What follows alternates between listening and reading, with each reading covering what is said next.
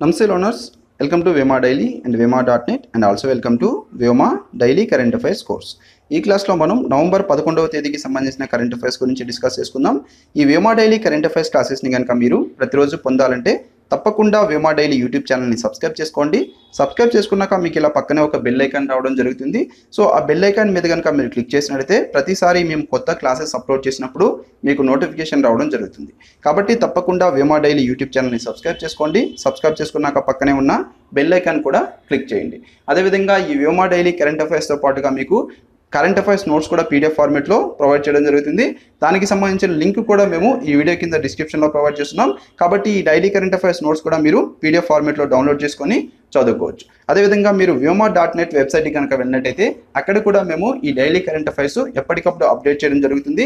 కాబట్టి ఈ daily current affairs మీరు అక్కడి నుంచి కూడా ఫాలో అవ్వచ్చు. అదేవిధంగా ఏపీఎస్సీ లేటెస్ట్గా రిలీజ్ చేసిన గ్రూప్ టూ సిలబస్ ఏదైతే ఉందో దీనికి సంబంధించి స్క్రీనింగ్ టెస్ట్లకి సంబంధించి మీకు ఆన్లైన్ ఎగ్జామ్స్ కూడా వ్యోమా ప్రొవైడ్ చేయడం జరుగుతుంది. దీంట్లో మీకు పదిహేను చాప్టర్ వైజ్ టెస్టులు అదేవిధంగా పది గ్రాండ్ టెస్ట్లు అవైలబిలిటీ ఉంటాయి. దీనికి సంబంధించిన రిజిస్ట్రేషన్ కూడా మీకు నవంబర్ ఒకటవ తేదీ నుంచి స్టార్ట్ అవ్వడం జరిగింది. కాబట్టి మీరు ఈ ఎగ్జామ్కి ఆన్లైన్ ఎగ్జామ్స్కి ఎవరైతే రిజిస్టర్ అయి ఉంటారో వాళ్ళు నవంబర్ పదకొండవ తేదీ నుంచి కూడా ఈ ఎగ్జామ్స్ని అటెంప్ట్ చేయొచ్చు. కాబట్టి ఈ ఎగ్జామ్స్ని మీరు ప్రాక్టీస్ చేయడం వల్ల మీకు చాలా ఉపయోగం ఉంటుంది. ఈ గ్రూప్ టూ ఎగ్జామ్లో ఈ కాంపిటేటివ్ ఎగ్జామ్స్లో మీకు టైం మేనేజ్మెంట్ కానీ అదేవిధంగా మీరు టెన్షన్ పడకుండా ఈ క్వశ్చన్స్కి ఆన్సర్ చేయడం కానీ అదేవిధంగా వీటిలో నుంచి కూడా మీకు కొన్ని క్వశ్చన్స్ వచ్చేదానికి అవకాశం ఉంటుంది కాబట్టి ఇవి మీకు చాలా ఉపయోగపడతాయి. అదేవిధంగా ఆంధ్రప్రదేశ్ లేటెస్ట్గా రిలీజ్ చేసిన ఎస్ఐ ఎస్ఐ నోటిఫికేషన్ ఏదైతే ఉందో ఈ ఎస్ఐకి సంబంధించి కూడా ఆన్లైన్ ఎగ్జామ్స్ మీకు వ్యోమా ప్రొవైడ్ చేయడం జరుగుతుంది. కాబట్టి దానికి సంబంధించిన రిజిస్ట్రేషన్ కూడా మీకు వ్యోమా డాట్ నెట్లో అవైలబిలిటీ ఉంటుంది. కాబట్టి అదేవిధంగా వీటితో పాటుగా మిగతా కాంపిటేటివ్ ఎగ్జామ్స్కి సంబంధించి ఆన్లైన్ ఎగ్జామ్స్ కూడా మీకు వ్యోమా ప్రొవైడ్ చేయడం జరుగుతుంది. సో వీటన్నిటికీ సంబంధించిన లింక్స్ కూడా మేము ఈ వీడియో కింద డిస్క్రిప్షన్లో ప్రొవైడ్ చేస్తున్నాం. కాబట్టి ఆ లింక్స్ క్లిక్ చేసి మీరు ఆ పర్టికులర్ ఆన్లైన్ ఎగ్జామ్స్ కూడా ఫాలో అవ్వచ్చు. అదేవిధంగా మీకు వేమా బుక్స్ కూడా అవైలబిలిటీ ఉన్నాయి. కాబట్టి మీకు ఏదన్నా కొత్త బుక్ కావాలన్నా సరే ఈ వేమా బుక్స్లోంచి కనుక ఆర్డర్ చేసుకున్నట్లయితే వాటిని డైరెక్ట్గా మీ హోమ్కి డెలివరీ చేయడం జరుగుతుంది.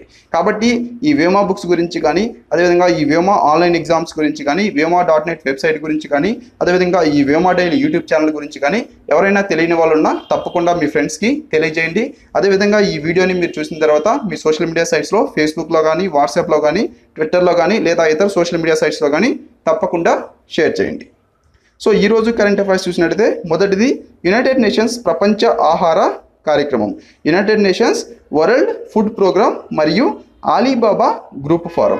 ఇవి రెండు కూడా ప్రపంచవ్యాప్తంగా ఆకలిని నిర్మూలించడం కోసంగా వ్యూహాత్మక భాగస్వామ్యం చేసుకోవడం జరిగింది.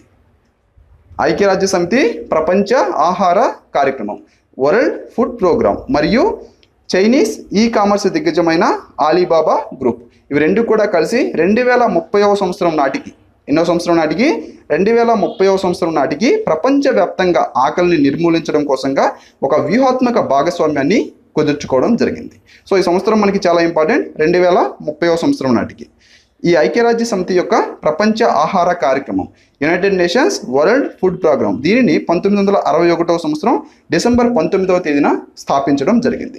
దీని యొక్క ప్రధాన కార్యాలయం వచ్చేసి ఇటలీలోని రోమ్లో ఉంది. యునైటెడ్ నేషన్స్ ప్రపంచ ఆహార కార్యక్రమం United Nations World Food Programme యొక్క ప్రధాన కార్యాలయం ఎక్కడుంది? ఇటలీలోని రోమ్లో ఉంది. దీని యొక్క ప్రస్తుత ఎగ్జిక్యూటివ్ డైరెక్టర్ వచ్చేసి డేవిడ్ బీస్లీ. అదేవిధంగా ఆలీబాబా గ్రూప్ హోల్డింగ్ లిమిటెడ్ వచ్చేసి దీన్ని పంతొమ్మిది వందల తొంభై తొమ్మిది ఏప్రిల్ నాలుగో తేదీన స్థాపించడం జరిగింది. దీని యొక్క ప్రధాన కార్యాలయం వచ్చేసి చైనాలోని హాంగ్జోలో ఉంది. దీని యొక్క ప్రధాన కార్యాలయం చైనాలోని హాంగ్జోలో ఉంది. ఈ ఆలీబాబా గ్రూప్ హోల్డింగ్ లిమిటెడ్ అనేది ఇది ఈ కామర్స్ దిగ్గజం ఈ చైనాలో. దీని యొక్క ఎగ్జిక్యూటివ్ చైర్మన్ వచ్చేసి జాక్మా నెక్స్ట్ వచ్చేసి అయోధ్య దీపోత్సవం రెండు వేల పద్దెనిమిది గిన్నీస్ బుక్ ఆఫ్ వరల్డ్ రికార్డ్స్లో స్థానం దక్కించుకుంది. సో లేటెస్ట్గా మనం చూసినట్లయితే ఈ దీపావళి ఉత్సవాలని పురస్కరించుకొని అయోధ్య పట్టణంలో నిర్వహించబడిన అయోధ్య దీపోత్సవం రెండు వేల పద్దెనిమిది. దీంట్లో వీళ్ళు మొత్తం కూడా మూడు లక్షల పమిదులు వెలిగించడం జరిగింది. దీనితో ఈ అయోధ్య దీపోత్సవం రెండు వేల పద్దెనిమిది గిన్నీస్ బుక్ ఆఫ్ వరల్డ్ రికార్డులోకి ఎక్కింది. ఇక ఉత్తరప్రదేశ్లోని ఫైజాబాద్ జిల్లా దీనిని అయోధ్య అని పిలువబడుతుందని చెప్పేసి ఇక నుంచి ఉత్తరప్రదేశ్ రాష్ట్రం యొక్క ముఖ్యమంత్రి అయిన యోగి ఆదిత్యనాథ్ లేటెస్ట్గా ప్రకటించడం జరిగింది. ఏ జిల్లా? ఫైజాబాద్ జిల్లా. దీన్ని ఇక్కడ నుంచి అయోధ్య అని పిలువబడుతుందని చెప్పేసి ఉత్తరప్రదేశ్ ముఖ్యమంత్రి యోగి ఆదిత్యనాథ్ ప్రకటించాడు. ఈ ఉత్తరప్రదేశ్ యొక్క రాజధాని లక్నో. ఉత్తరప్రదేశ్ యొక్క ప్రస్తుత ముఖ్యమంత్రి యోగి ఆదిత్యనాథ్. ఉత్తరప్రదేశ్ యొక్క ప్రస్తుత గవర్నర్ రామ్ నాయక్. భారతదేశంలో ఈ ఉత్తరప్రదేశ్ రాష్ట్రం ఎక్కువ జనాభా కలిగి ఉన్న రాష్ట్రం. అన్ని రాష్ట్రాల్లో కంటే కూడా ఎక్కువ జనాభా కలిగి ఉన్న రాష్ట్రం ఉత్తరప్రదేశ్ రాష్ట్రం. అదేవిధంగా వైశాల్య పరంగా చూసినట్టయితే భారతదేశంలో నాలుగవ అతిపెద్ద రాష్ట్రం ఉత్తరప్రదేశ్. మొదటి అతిపెద్ద రాష్ట్రం వచ్చేసి రాజస్థాన్. అదేవిధంగా ఉత్తరప్రదేశ్లో శాసనసభ సీట్లు నాలుగు వందల నాలుగు సీట్లు యాక్చువల్గా నాలుగు వందల మూడు సీట్లు. ఈ నాలుగు వందల మూడు సీట్లను ఈ నాలుగు వందల మూడు శాసనసభ సీట్లు కూడా ఎన్నికలు జరగ వీటికి ఎన్నికలు నిర్వహించడం జరుగుతుంది. ఈ ఒక్కదానికి మాత్రం ఒకరిని మాత్రం వాళ్ళు నామినేట్ చేయడం జరుగుతుంది. కాబట్టి నాలుగు వందల మూడు మందిని మాత్రం ఈ ఎన్నికల ద్వారా ప్రజలు ఎన్నుకోవడం జరుగుతుంది. ఒకరిని మాత్రం నామినేట్ చేయడం జరుగుతుంది. అదేవిధంగా పార్లమెంట్లో చూసినట్టయితే లో ఉత్తరప్రదేశ్ లోక్సభ సీట్లు వచ్చేసి ఎనభై సీట్లు అదేవిధంగా రాజ్యసభ సీట్లు వచ్చేసి ముప్పై ఒక సీట్లు. ఈ ఉత్తరప్రదేశ్ శాసనసభ అనేది బైకామరల్ శాసనసభ. మన భారతదేశంలో మొత్తం ఏడు బైకామరల్ స్టేట్స్ ఉన్నాయి. వాటిలో మన ఆంధ్రప్రదేశ్ అదేవిధంగా తెలంగాణ కూడా ఉంది. ఈ ఉత్తరప్రదేశ్ కూడా బై క్యామరల్ స్టేట్ అంటే బై క్యామరల్ లెజిస్లేచర్ అంటే వీటిల్లో ఈ రెండు హౌసెస్ ఉంటాయి. ఈ శాసనసభలో మొత్తం రెండు హౌసెస్ ఉంటాయి. మన పార్లమెంట్లో లోక్సభ రాజ్యసభ లాగా వీటిల్లో కూడా శాసనసభలో రెండు స్టే- రెండు హౌసెస్ ఉంటాయి. నెక్స్ట్ వచ్చేసి ఈ ఉత్తరప్రదేశ్లో ఉన్న జాతీయ ఉద్యానవనాలు నేషనల్ పార్క్స్. ఇక్కడ దూద్వా నేషనల్ పార్క్ మనకి చాలా ఇంపార్టెంట్. ఇది ఉత్తరప్రదేశ్ రాష్ట్రంలో ఉంది. అదేవిధంగా వైల్డ్ లైఫ్ శాంక్చురీస్. ఉత్తరప్రదేశ్ రాష్ట్రంలో ఉన్న వన్యప్రాణి అభయారణ్యాలు హస్తినాపూర్ వన్యపురి వన్యప్రాణి అభయారణ్యం అదేవిధంగా కిషాన్పూర్ వన్యప్రాణి అభయారణ్యం జాతీయ చంబల్ అభయారణ్యం. హస్తినాపూర్ అభయ వన్యప్రాణి అభయారణ్యం కిషాన్పూర్ వన్యప్రాణి అభయారణ్యం జాతీయ చంబల్ అభయారణ్యం. నేషనల్ పార్క్ వచ్చేసి దూద్వా నేషనల్ పార్క్. ఇవన్నీ కూడా మనకి చాలా ఇంపార్టెంట్. నెక్స్ట్ వచ్చేసి అరుణిమా సిన్హా యూకేలో గౌరవ డాక్టరేట్ను పొందారు. సో ఈమె భారతదేశానికి చెందిన వ్యక్తి ఈమెకి యూకేలోని ఒక యూనివర్సిటీ గౌరవ డాక్టరేట్ని ఇవ్వడం జరిగింది. ఈమెకి ఎందుకు ఇచ్చారంటే ఈమె యాక్చువల్గా రెండు వేల పదమూడవ సంవత్సరంలో ఎవరెస్ట్ శిఖరాన్ని అధిరోహించడం జరిగింది. దీనితో ఈమె ప్రపంచంలో అంగవైకల్యం కలిగి ఎవరెస్ట్ శిఖరాన్ని అధిరోహించిన మొట్టమొదటి మహిళగా ఈమె నిలవడం జరిగింది. అంగవైకల్యం కలిగి కూడా ఎవరెస్ట్ శిఖరాన్ని అధిరోహించిన మొట్టమొదటి మహిళ అరుణిమ సిన్హా. దానికి గాను ఈ యునైటెడ్ కింగ్డమ్కి చెందిన ది యూనివర్సిటీ ఆఫ్ స్టాత్లైడ్ ఈమెకి గౌరవ డాక్టరేట్ని ఇచ్చి గౌరవించడం జరిగింది. యునైటెడ్ కింగ్డమ్ యొక్క రాజధాని లండన్ యునైటెడ్ కింగ్డమ్ యొక్క ప్రస్తుత ప్రధానమంత్రి తెరిసామే అదేవిధంగా యునైటెడ్ కింగ్డమ్ యొక్క currency pound sterling. United Kingdom యొక్క కరెన్సీ పౌండ్ స్టెర్లింగ్. నెక్స్ట్ వచ్చేసి డ్రెడ్జింగ్ కార్పొరేషన్ ఆఫ్ ఇండియాలో వంద శాతం ప్రభుత్వ వాటాను ఉపసంహరించుటకు Cabinet Committee on Economic Affairs లేటెస్ట్గా ఆమోదించడం జరిగింది. ఈ డెడ్జింగ్ కార్పొరేషన్ ఆఫ్ ఇండియా అనేది మన భారత ప్రభుత్వ సంస్థ. ఇది మినీరత్న కంపెనీ.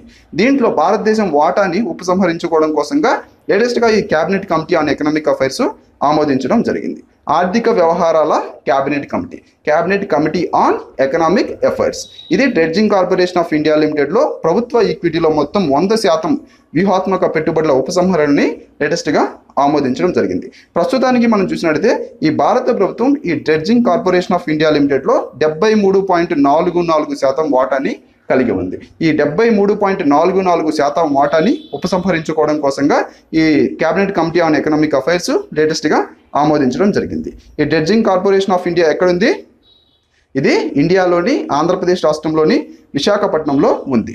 దీనిని పంతొమ్మిది వందల డెబ్బై ఆరు మార్చి తొమ్మిదవ తేదీన స్థాపించడం జరిగింది. ఈ డెడ్జింగ్ కార్పొరేషన్ ఆఫ్ ఇండియా యొక్క ప్రస్తుత chairman managing director Rajesh Tripathi. Dredging Corporation of India భారత ప్రభుత్వ సంస్థ ఇది ఆ, మినీరత్న కంపెనీ. అదేవిధంగా మనం చూసినట్లయితే వీటితో పాటుగా ఈ Cabinet Committee on Economic Affairs లేటెస్ట్గా ఆంధ్రప్రదేశ్లోని సెంట్రల్ ట్రైబల్ యూనివర్సిటీని స్థాపించడం కోసంగా ఈ సెంట్రల్ యూనివర్సిటీస్ యాక్ట్ రెండు వేల పద్దెనిమిదిలో సవరణలకి కూడా ఈ ప్రధానమంత్రి నరేంద్ర మోడీ అధ్యక్షన ఈ కేంద్ర మంత్రివర్గం కూడా ఆమోదం తెలపడం జరిగింది. సో ఈ ఆంధ్రప్రదేశ్ రాష్ట్రంలో సెంట్రల్ ట్రైబల్ యూనివర్సిటీ ఎక్కడ నిర్మిస్తున్నారు? దానికి కూడా మన దాని గురించి కూడా మనం టూ డేస్ బ్యాక్ కరెంట్ అఫైర్స్లో క్లుప్తంగా చెప్పుకోవడం జరిగింది. కాబట్టి వీటిని ప్రతి ఒక్కదాన్ని మీరు డైలీ కనుక ఫాలో అయినట్టయితే సో మొత్తం ఇన్ఫర్మేషన్ కూడా మీకు రావడం జరుగుతుంది. అదేవిధంగా వీటితో పాటుగా అహ్మదాబాదు జైపూరు లక్నో గౌహతి అదేవిధంగా తిరువనంతపురం కానీ మంగళూరు కానీ ఈ ఆరు విమానాశ్రయాలను కూడా లీజుకు ఇచ్చేందుకు ఇచ్చేందుకు ఈ మంత్రి మండలి లేటెస్ట్గా ఆమోదం తెలపడం జరిగింది. నెక్స్ట్ వచ్చేసి అరవై ఐదు కేజీల విభాగంలో భారత రెజ్లర్ బజరంగ పునియా మొదటి ర్యాంకుకి చేరుకున్నాడు. సో లేటెస్ట్గా మనం చూసినట్టయితే United World Wrestling rankings release చేయడం జరిగింది. వీటిలో అరవై ఐదు కేజీల విభాగంలో మన భారతదేశం యొక్క రెజ్లర్ అయిన బజరంగ్ పునియా మొదటి ర్యాంక్కి చేరుకోవడం జరిగింది. నెక్స్ట్ వచ్చేసి నోటి క్యాన్సర్ మీద రాసిన పుస్తకం ఆరివు విడుదలైంది. సో ఈ పుస్తకం పేరు ఆరివు. దేని మీద రాశారు? నోటి క్యాన్సర్ మీద ఈ పుస్తకం రాయడం జరిగింది. ప్రతి సంవత్సరం కూడా భారతదేశంలో నవంబర్ ఏడవ తేదీన జాతీయ క్యాన్సర్ అవగాహన రోజుగా మనం గుర్తించడం జరుగుతుంది. జాతీయ క్యాన్సర్ అవగాహన రోజుగా భారతదేశంలో ఎప్పుడు గుర్తిస్తాం? నవంబర్ ఏడవ తేదీన. సో కాబట్టి భారతదేశంలో నవంబర్ ఏడవ తేదీన జాతీయ క్యాన్సర్ అవగాహన రోజుగా గుర్తించడం జరుగుతుంది. ఈ ఆర్యు అనే పుస్తకాన్ని డాక్టర్ మురళీమోహన్ చుంతరు ఇతను రాయడం జరిగింది. ఇతను ఒక డెంటల్ సర్జన్ మరియు డీకే హోమ్ గార్డ్ కమాండెంట్ ఇతను. సో ఇతను ఈ మౌత్ క్యాన్సర్ మరియు ఈ మౌత్ క్యాన్సర్ వ్యాధి నివారణ గురించి ఈ ఆరివు పుస్తకంలో క్లుప్తంగా వివరించడం జరిగింది. ఆరివు పుస్తకానికి దేనికి సంబంధించింది? ఆరివు పుస్తకం మౌత్ క్యాన్సర్కి సంబంధించింది. దీన్ని రాసింది డాక్టర్ మురళీమోహన్ చుంతురు. భారతదేశంలో జాతీయ క్యాన్సర్ అవగాహన రోజుగా ఎప్పుడు గుర్తిస్తాం ప్రతి సంవత్సరం?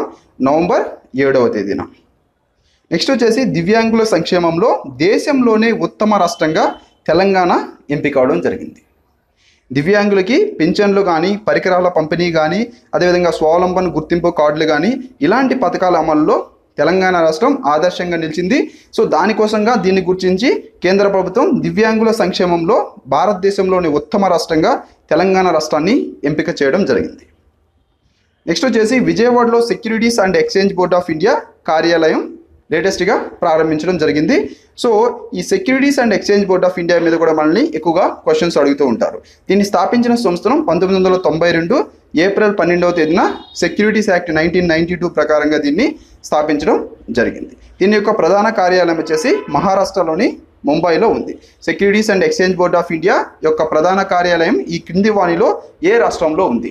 మహారాష్ట్రలోని ముంబైలో ఉంది. దీని యొక్క ప్రస్తుత చైర్మన్ వచ్చేసి అజయ్ త్యాగి ఈ చైర్మన్ మనకి చాలా ఇంపార్టెంట్. ఇలాంటి సంస్థలు ఏవైతే ఉంటాయో వీటి యొక్క చైర్మన్స్ మనం కంపల్సరీ గుర్తుపెట్టుకోవాలి. వాళ్ళ వాటి యొక్క హెడ్స్.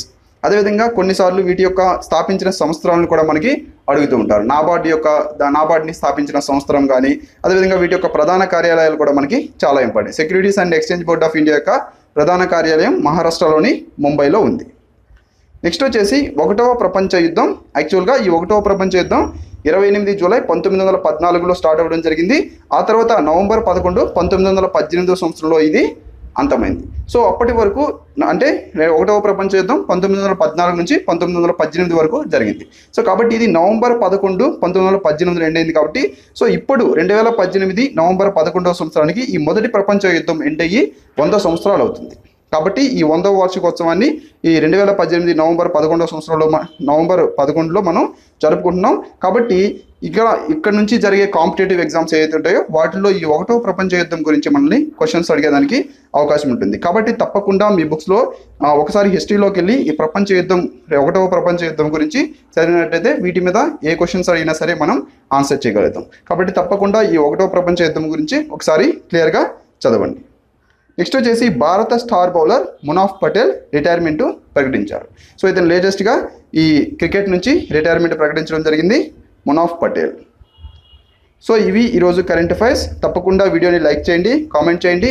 అదేవిధంగా తప్పకుండా ఈ వీడియోని మీ సోషల్ మీడియా సైట్స్లో షేర్ చేయండి. Thank you